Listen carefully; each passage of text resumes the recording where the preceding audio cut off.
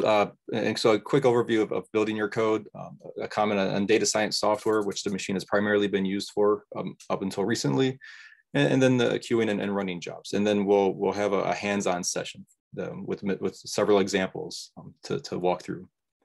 Um, so again, uh, Theta GPUs are our, our, newest system. It's an expansion to the Theta uh, machine. And this was originally acquired to, to help support coronavirus resource, um, but we would now op open it up for, for general use.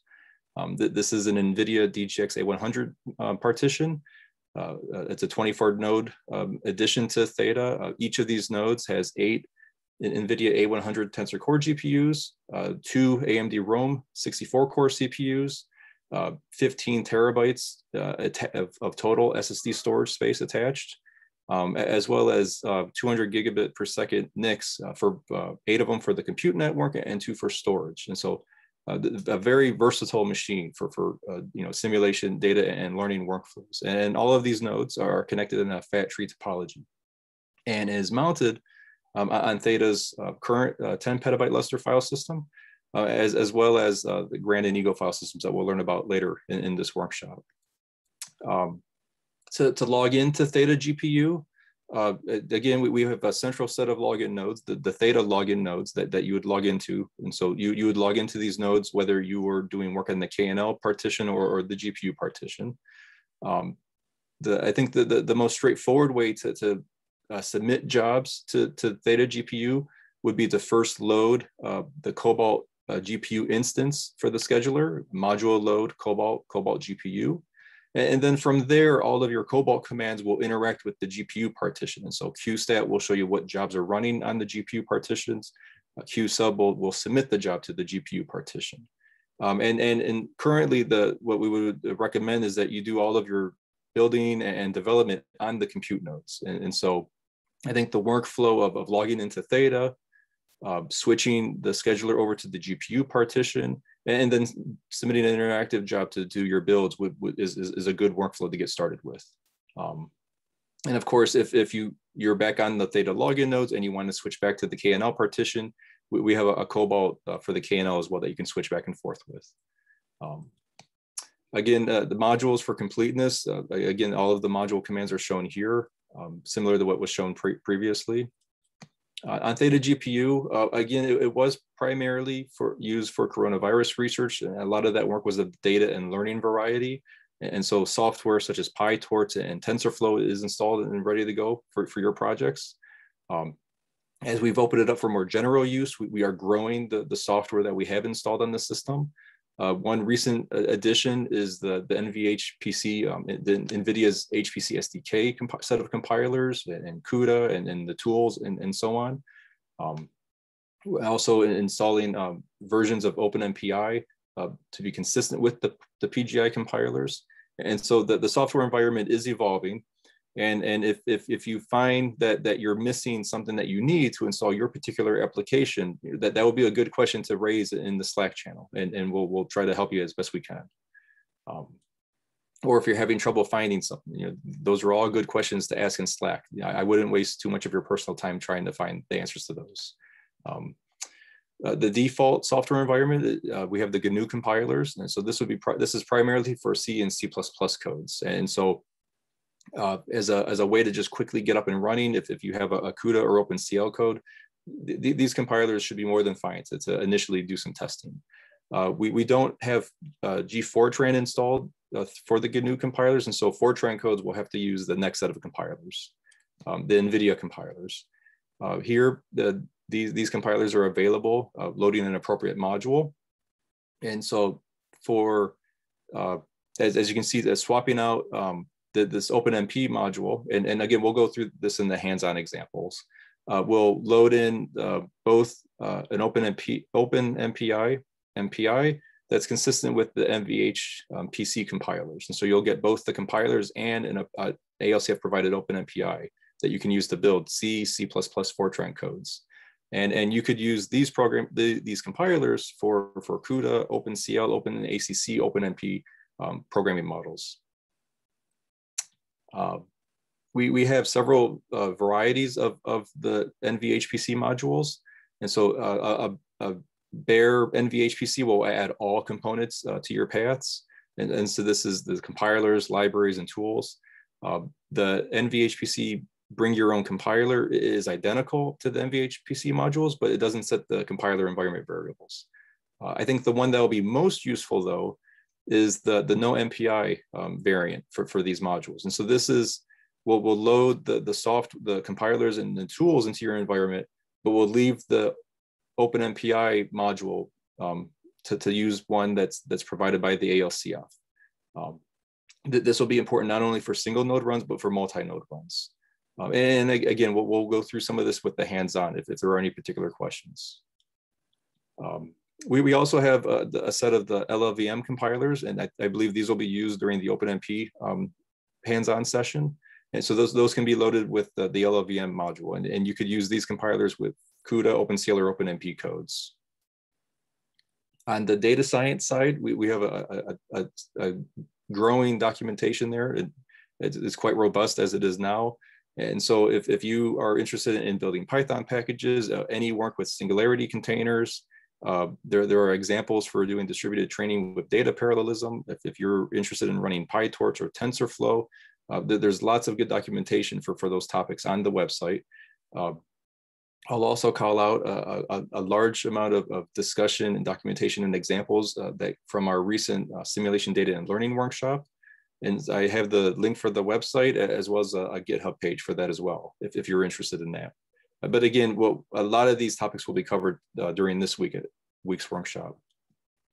Uh, a couple of QSub-attributes that might be particularly interest for, for the Theta GPU partition. Uh, one is uh, MIG mode.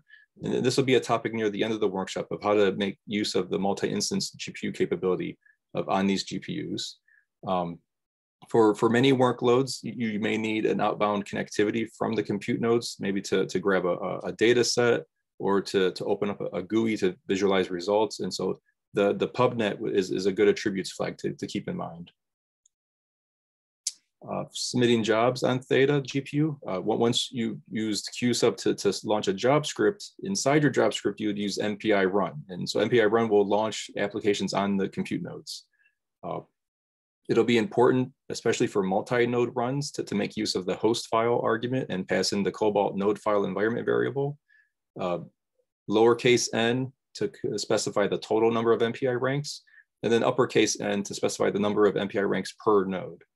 Um, and the, the example here shows that within your script, you can also specify your Cobalt scheduler, um, scheduler environment uh, arguments. And, and, and those should remain um, on consecutive lines without any empty lines for, for the Cobalt to, to capture everything. Um, uh, some important additional important MPI run arguments. Uh, dash X is, is what's used to, to pass environment variables. Um, dash dash bind to uh, would be helpful if, if you want to um, be if you want to specify explicitly your, your affinity of, of MPI processes to the cores. Um, the open and OMP num threads may be another one if, if you have OpenMP threads on the cores. Um, a lot of the information, folks, folks may be familiar with MPI run, and so the, the, there is also the man page for additional documentation if you have questions. Um, one question that, that's come up is, is how to, to map GPUs um, to, your MPI ranks. Uh, in many cases, this is something that, that's handled through the, the programming model or framework semantics, uh, you know, CUDA and, and TensorFlow. Uh, they both have APIs for, for uh, assigning the GPU devices to the ranks. Um, and so you, you, you may already have examples in, in your codes. Uh, there, there are also environment variables. And so CUDA visible devices is, is one environment variable that could be used to, to help uh, assign uh, processes to the GPUs.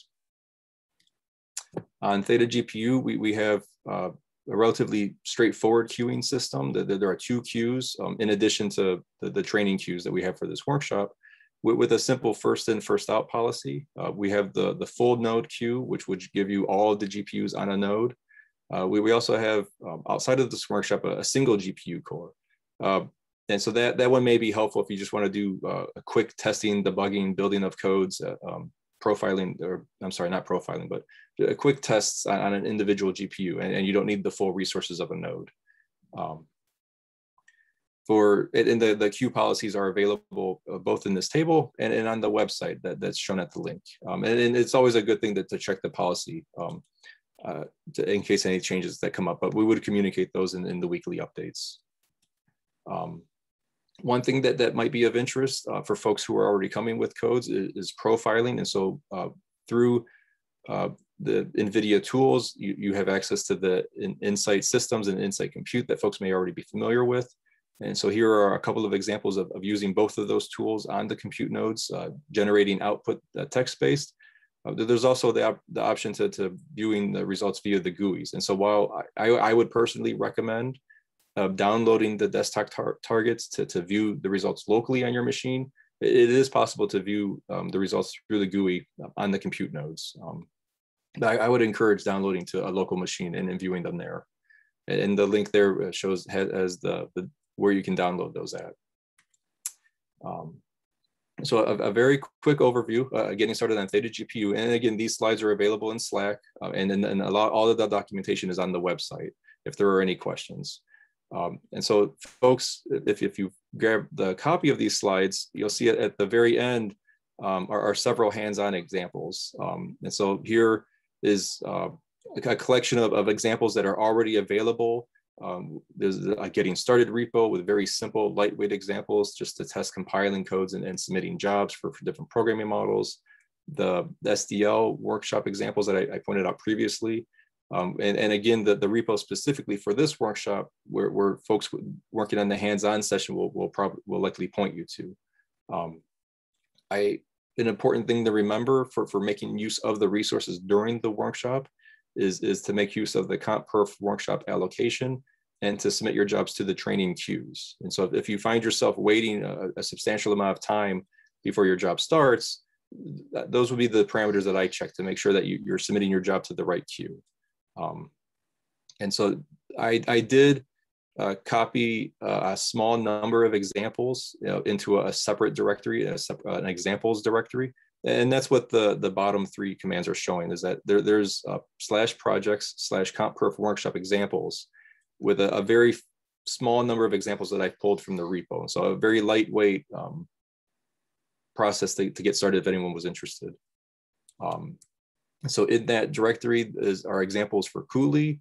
If, if maybe you wanted to set up some analysis codes or visualization codes on Cooley and submitting and testing jobs there, um, there's the Theta OpenMP examples, and, and, this one's looking at how to set affinity for your OpenMP threads uh, via the aprun command.